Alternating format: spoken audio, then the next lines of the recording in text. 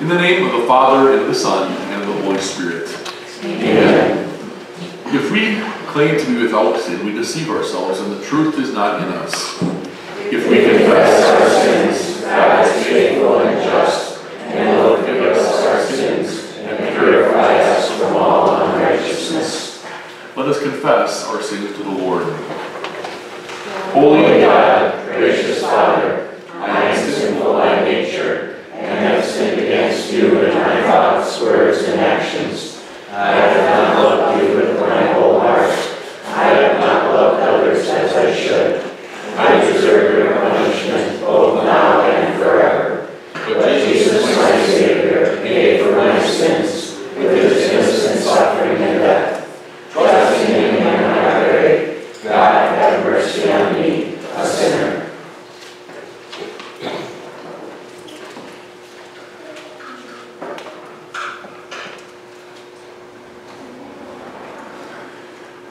our gracious Father in heaven has been merciful to us. He sent his only Son, Jesus Christ, who gave his life as the atoning sacrifice for the sins of the whole world.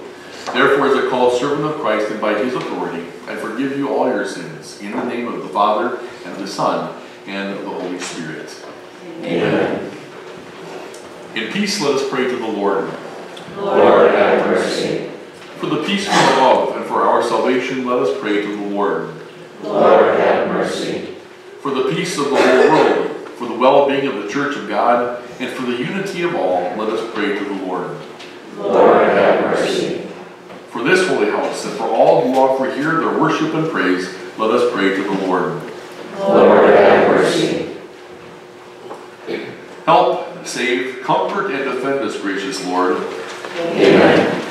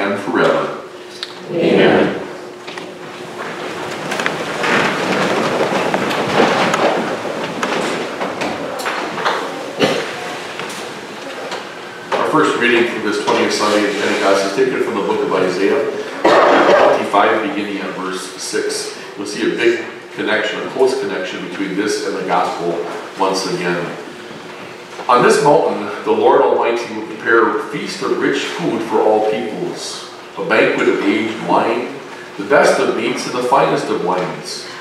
On this mountain he will destroy the shroud that enfolds all peoples, the sheet that covers all nations. He will swallow up death forever.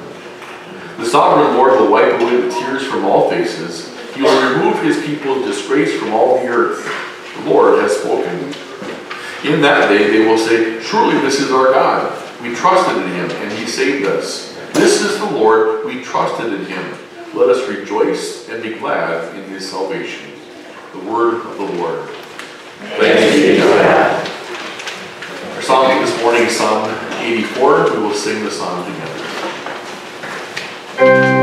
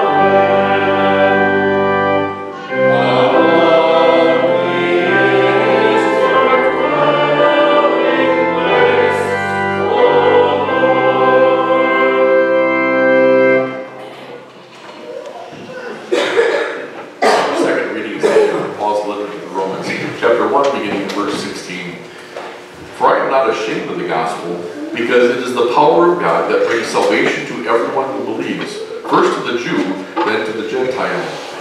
For in the gospel the righteousness of God is revealed, a righteousness that is by faith from first to last, just as it is written, the righteous will live by faith. The word of the Lord.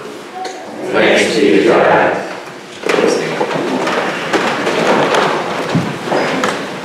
We join in the gospel acclamation.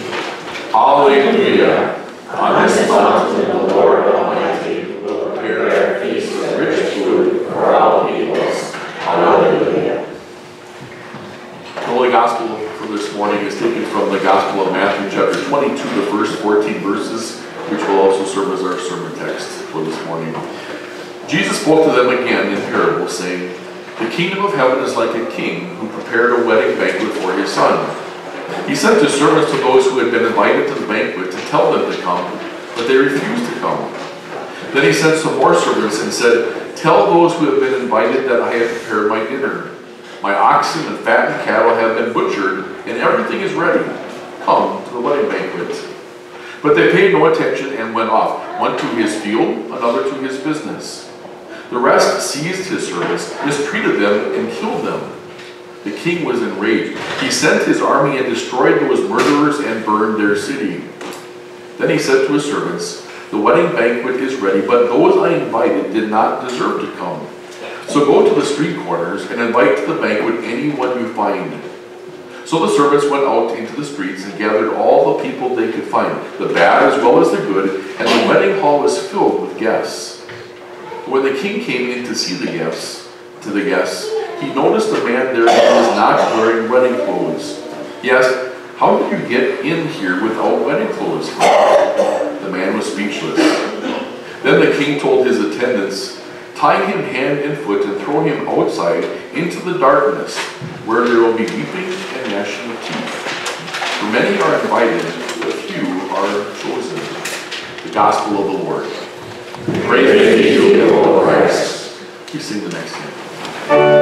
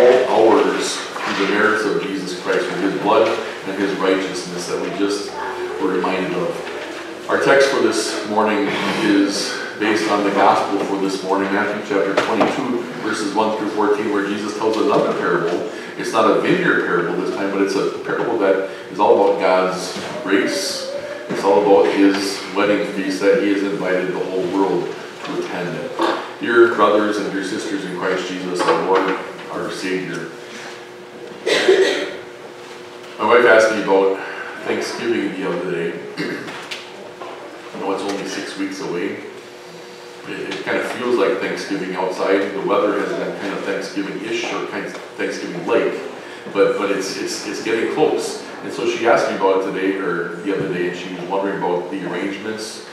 What we have done in the past is probably not going to work this year as far as where we are going to celebrate it. So she asked, should I invite your parents? Should I invite my mom? Should we do it ourselves? What should we do for Thanksgiving? And I replied by, I I saying whatever you smart husband should. You've got it under control you, you know what to do, I'm gonna trust whatever you decide in the end. And, and, and so that was it, but it got me thinking about Thanksgiving. I, I love Thanksgiving, it's one of my favorite holidays outside of the church year holidays. I love the fact that you can start Thanksgiving on Thanksgiving Eve or Thanksgiving Day by coming to God's house, getting together with your family of believers, and just a festival worship service with hymns that are nice and loud. Everybody knows the hymns. Now thank we all our God. Come, ye thankful people, come. We gather together to ask the Lord's blessings. Go, my children, with my blessing. Praise God from whom all blessings flow. Those are the standards, some that we sing on Thanksgiving, but those are all beautiful, beautiful hymns. We're reminded of the huge amount of blessings that God has showered on us every day of this past year. And then you go home. And, and then you gather with family and friends. And some of those family you probably have not seen for some time, so you get a chance to catch up. And, and, and you get a chance to get to know your family and your friends a little bit more. What's going on in their lives. And you enjoy that part of Thanksgiving too. But then supper comes or lunch comes, your dinner comes, and, and, and that's a feast remember. It's a once a year feast that you don't get any other time of the year. And, and traditional Thanksgiving fare that I've always experienced, you got the turkey, you got the stuffing, you got the mashed potatoes, you got the gravy, you got the cranberries that somebody reminded me because I forgot about it on Thursday evening. You, you've got green bean casserole, you've got maybe some corn, squash, maybe, maybe not, that doesn't have to be there. Nice hot butter rolls, a nice glass of wine probably, pumpkin pie to round it all out. And, and you've got a feast that you look forward to. And, and I hope everybody looks forward to that because that's what traditional fare is. Maybe it's not tradition in your own home, maybe your menu is a little bit different, but I'm guessing that you do look forward to it, do you not? And then you hear the gospel for this morning.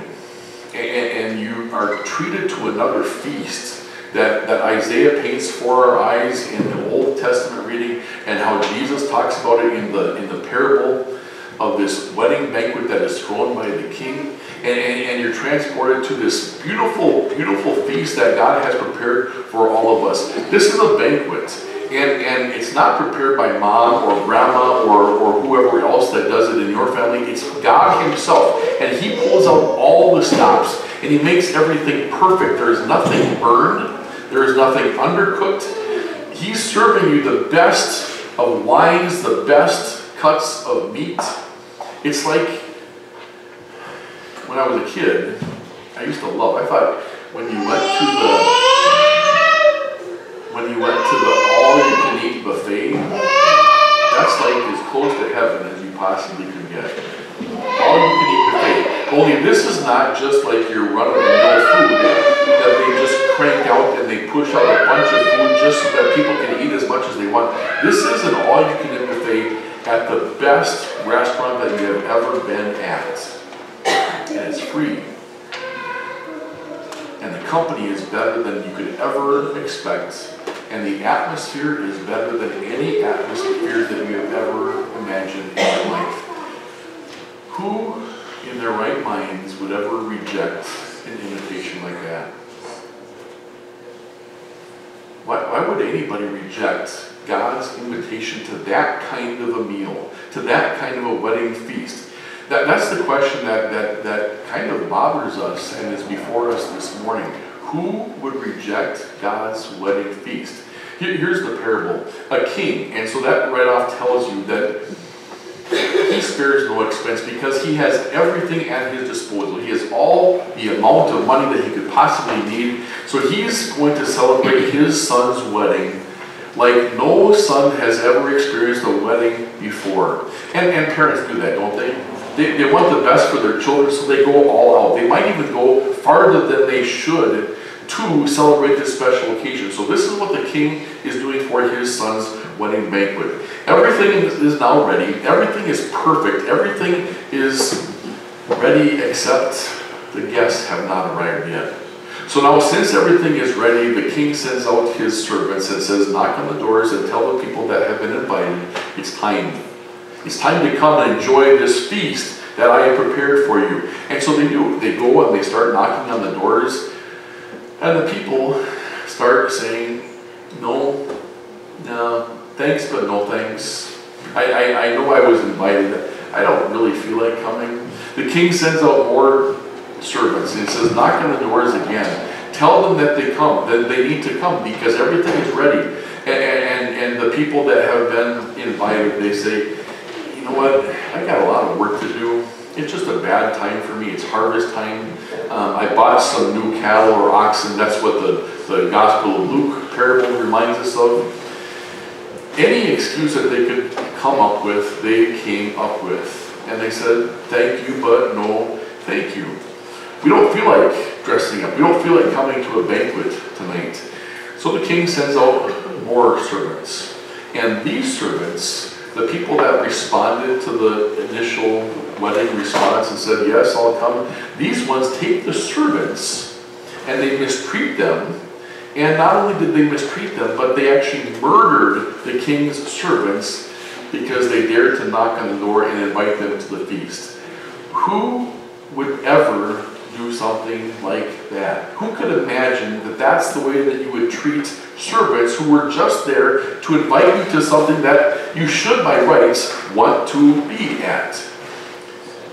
But yet, that's exactly what the servants were up against.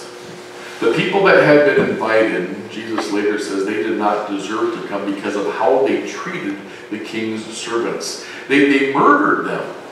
Now, now we might think that what happens next is a little bit over the top because the king was enraged at how his servants were treated and how the people rejected the invitation. So he sends his armies to the people that rejected the invitation and he massacres them. He levels them, he destroys the city that they live in, and, and we might be tempted to think, well, God is, boy, he's a terrible, terrible tyrant for doing something like that. This, this, this wedding father, the father of the groom, how could he do something like that? Talk about a tyrannical man. But think of it this way, I've heard it described in this way. Think of it this way that the United States is trying to settle some, some bad blood between our country and their country. So we send a delegation, say 20 diplomats, and we send them to this particular country to try to broker some peace between our country and their country. And the people get off the plane. As soon as they get off the plane, the people from the foreign country, they blindfold all 20 of them. They cuff their hands and they lead them only to be executed. All of them are to death. What would you say then? Justice, right? This is like 911. This is like, I can't believe that's what they did to our country. Justice needs to be done to the people that did this. That's what the king was doing. He was only being just in his treatment of those particular people. What kind of a king would let the murder of his own diplomats go unpunished? No, you're, you're, you're calling for justice the surprising thing in this whole story is not how the king reacted. The most surprising thing in this whole story is why did the people just come in the first place? When they knew what they were coming to, and when they knew what that invitation entailed, they, they, they heard about this festive meal that had been planned, they knew what they were going to get. Why would anybody in their right minds reject that kind of an invitation. That boggles the mind, does it? Doesn't it? It's irrational, it's illogical. The only thing that you can chalk it up to is what we talked about last time, last Sunday. Remember the parable of the vineyard? I think it was last Sunday. When the vineyard owner sent his son to gather some of the first fruits of the vineyard, and what did the tenants do to his son? They saw him coming down the road and they said, There's the king's son. He's the heir. If we kill him, we'll get the vineyard. What were they thinking? They thought that they could actually get the vineyard if they killed the king's son, the, the, the man who owned everything, his son? No, they weren't thinking straight because that man had all of the defensive and offensive resources at his hands. He could have just destroyed those people. They weren't thinking. But again, I asked the same question as last week. When you sin, are you thinking straight? Are you thinking logically and rationally? Or do sometimes our minds get a little bit clouded because we're trying to figure out how to lie, how to cover up our tracks, how to do this because of our sins. Sin makes us do dumb things, always. That's the only thing that you can chalk this up to. That sin made these people, their sinful nature says, I don't want the king's invitation. Anyways, back, back to the parable. The king is not now not deterred by the fact that everybody has rejected his invitation. He's still got a banquet hall of empty chairs and lots of food. So he sends out his servants for another round. And he says, this time don't go to the people that have been invited. go to the people that are on the street corners. Go to the bad parts of town. Go to the people that are good and bad in your estimation. Go to everybody. Don't leave anybody out that you see. Offer them an invitation to the banquet. And so the servants do that. And they go out and they offer the invitation to all. And many, many people fill the banquet hall and they're having a good time. They're eating and they're drinking and they're having just a beautiful, wonderful time at this son's wedding banquet. But then the king spies somebody in the back of the room and he's kind of shabbily dressed. Have you ever been someplace where you think, boy, that's not very appropriate for the situation? They're not dressed appropriately. It was almost an insult that he would have come in these clothes. And the king approaches this man and he says, Friend, how did you get in here without any wedding clothes? And the assumption is made that, that since these people were, were given an invitation off the street, the king would have supplied them wedding clothes. So when they got to the banquet hall, the king would have supplied a suit or a dress or something that was appropriate for that particular occasion. And the man answered him, he was speechless. He couldn't answer him. What was the implication?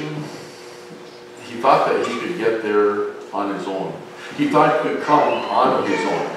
It was an insult to the king the way that he was dressed. It was inappropriate for the whole situation. He thought that he could come as he was. Now, now, now how does this apply to us? We just sang to him, Jesus, thy blood and righteousness, my beauty are my glorious dress. How do you get to heaven? Is it come as you are, or don't come at all? From the 80s song, come as you are, or don't come at all? No. God wants you to be dressed in a certain way because heaven is perfection and righteousness and holiness. And God cannot live with any imperfection or sin and so he gives us what he requires. The only thing is that it costs someone dearly. It cost Jesus dearly to give us the clothes that we needed to get into God's heavenly banquet. We talk about the great exchange sometimes, that Jesus gives us his perfection for our shabby, terrible clothes. We get the perfection that Jesus gives us, that he lived with, that he died with, Jesus gets our sins, he takes those to the cross. And it, again, cost him dearly because in the hymn that we'll sing in a few minutes, God was estranged from God. What does that mean? Jesus, God, was estranged from his own heavenly Father. Why? Because Jesus was experiencing hell.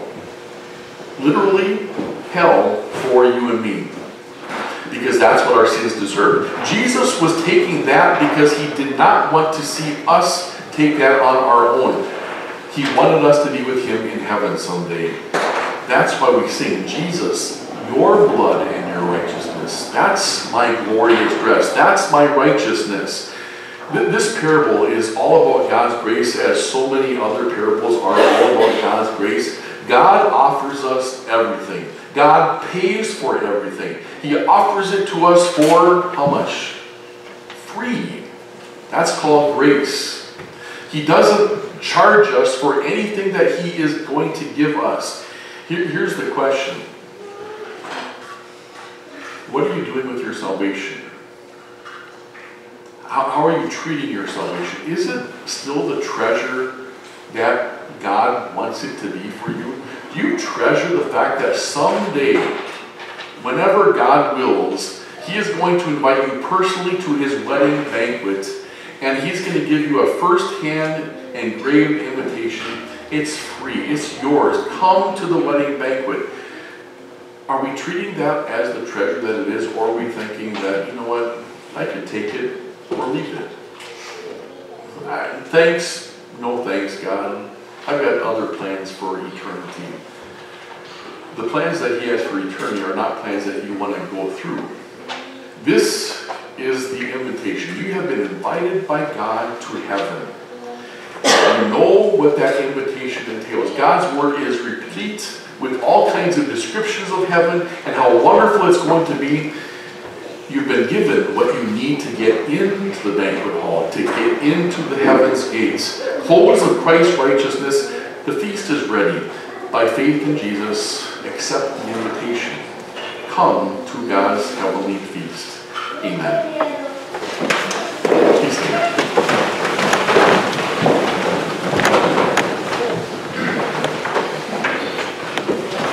Peace of God, which goes beyond our understanding, will guard and keep your hearts and your minds in the true faith in Christ Jesus.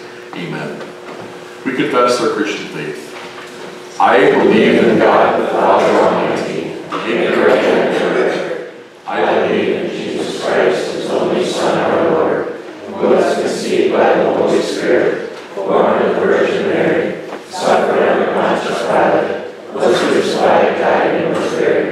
He descended into hell. The third day he rose again from the dead. He ascended into heaven, and is seated at the right hand of God the Father Almighty. From there he will come to judge the living and the dead. I believe in the Holy Spirit, the holy Christian church, the communion of saints, the forgiveness of sins, the resurrection of the body, and the life everlasting. Amen.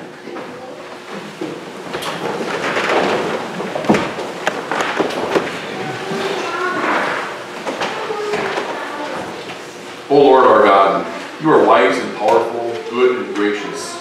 Your mercies are new every morning. Each day you open your hand and provide for the needs of your children on earth. We praise you for every grace and blessing. Strengthen your church in all the world. Let your comforting message of salvation in Christ Jesus be proclaimed to troubled souls everywhere. Use our ministries and offerings to extend your healing and your hope. We bring you our requests for the various structures of our society. Bless our national, state, and local governments. Grant us civil servants who are worthy of honor and respect. Grant prosperity to our businesses and industries. Give employers a sense of fairness toward their workers, and employees a feeling of joy and pride in their workmanship. Help us find satisfaction in our work.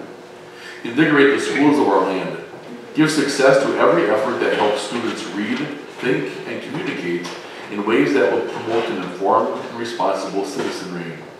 Arouse curious minds to discover the wonders of your created order. Give us Teachers and students who pursue excellence. Strengthen the families of our country. Give fathers and mothers renewed commitment to be good parents. Give children and young people the wisdom to regard their parents as your representatives. Lead us to love one another as you have loved us. Hear us, Lord, as we now bring you our private petitions.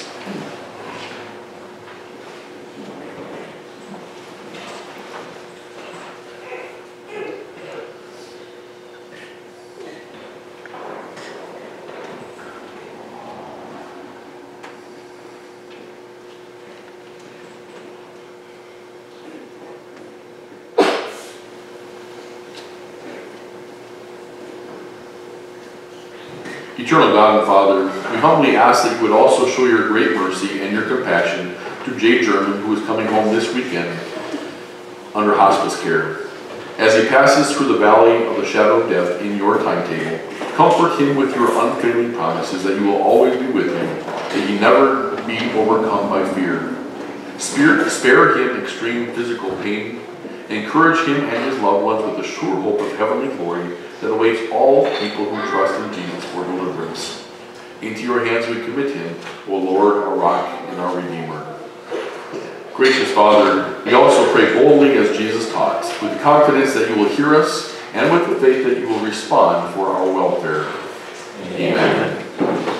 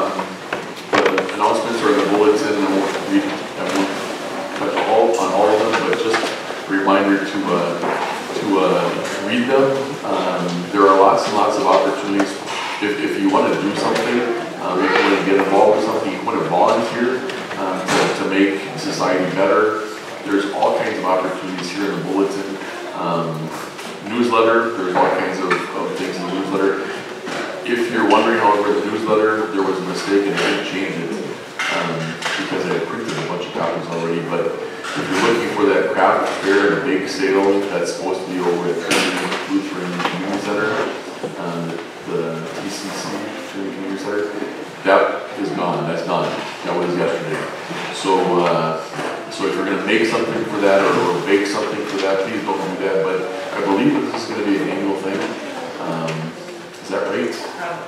Probably. Okay. So, so to look forward to it next year. It goes for a wonderful, wonderful cause. Branch Lutheran Schools in Haiti, and so uh, so the, the, the funds that are raised for this particular fundraiser go to a, a wonderful cause. But there's all kinds of other things that you can get involved with. Just pick up a newsletter if you did last week, um, or a bulletin, or a, or a, a calendar not this coming week, but the following week, we have a workday scheduled.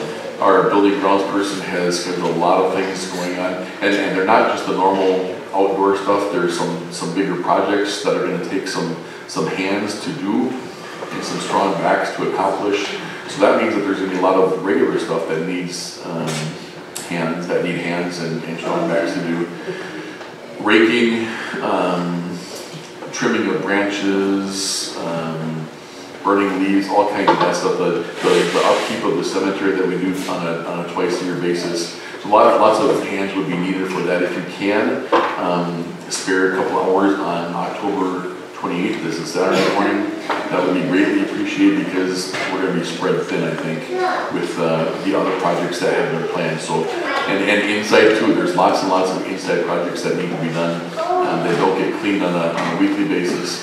So, so please join us on that twenty-eighth if you can.